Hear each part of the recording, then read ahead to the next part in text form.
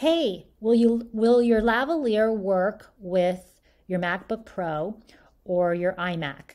Uh, so I'm I'm using the Rode Lavalier Go, and it looks like this when I bought it in the box. Will it work with my MacBook Pro? I thought it would, so uh, I brought it home, and it looks like this.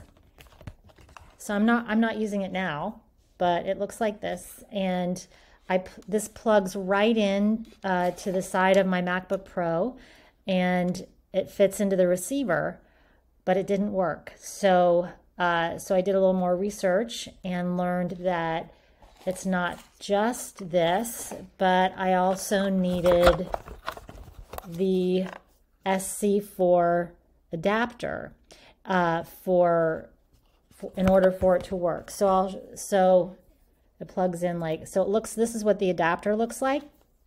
It's just real small, and you don't want um, what's so the adapters, uh, and th the name of the adapter, so this is, it's called a TRS to TRRS adapter.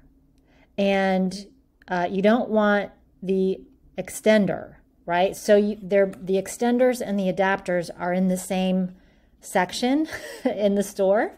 Uh, so you, you don't want to pick up the extender, you want the adapter because you want the end here to look different. Now you might think they look the same, but they're different and I'll show you the difference here. So the difference is this is the lavalier and it fits into the receiver, but it has two lines, two black lines around it.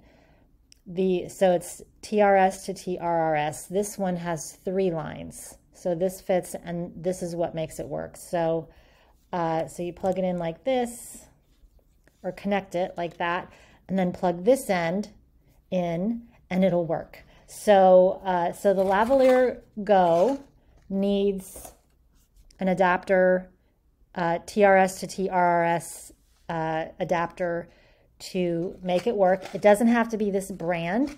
Uh, so what you look for are the lines. So this is probably what you're going to get when you take whichever brand you have out of the box. It'll have two lines. It's TRS.